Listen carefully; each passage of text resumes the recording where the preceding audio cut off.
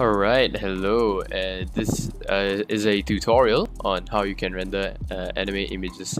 So to start off, uh, there, you see there's this white background, so if you use the magic eraser tool, it makes it really easy for you to just render images because it's just a white background and the eraser tool would like remove the whole white background with just like one click. So there you go.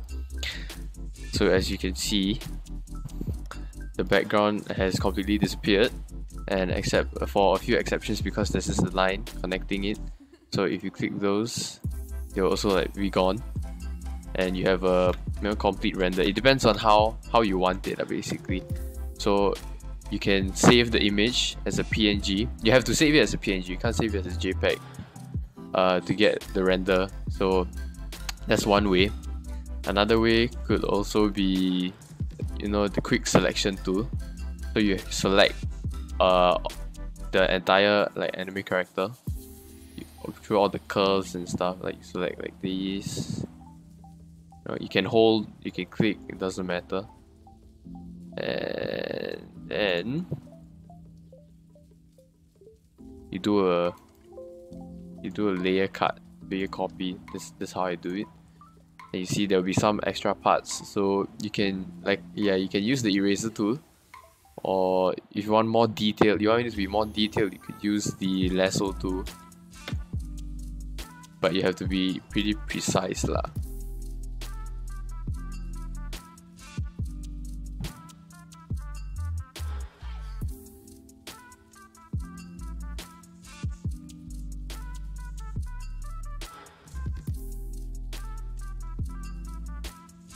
yeah I'm not really very precise at this so you can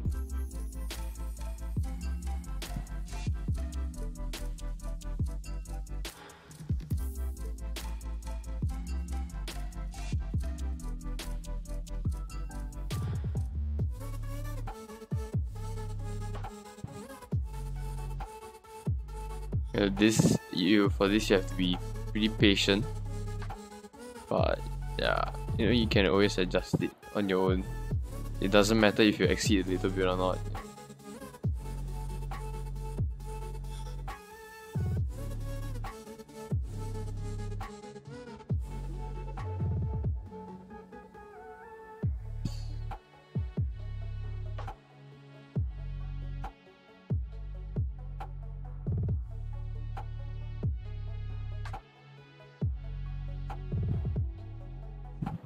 Let's go follow all the edges.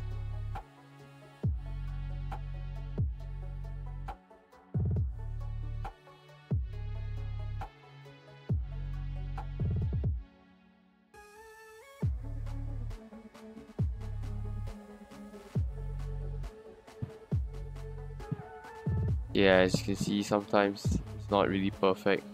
So if you want like 100% accuracy, you use you can use the lasso tool.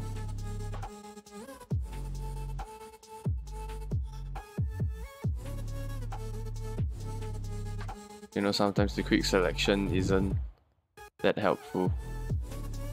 Especially on those uh, images with a lot of detail a lot of curves.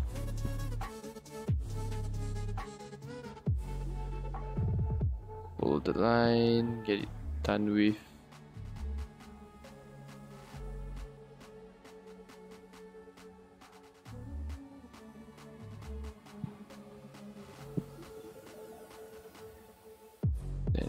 Yeah.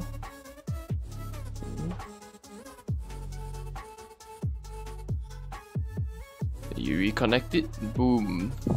Okay, it's not really perfect, but yeah, you can do the same. You cut thing, move, move the layer. Yeah, it's pretty much the same,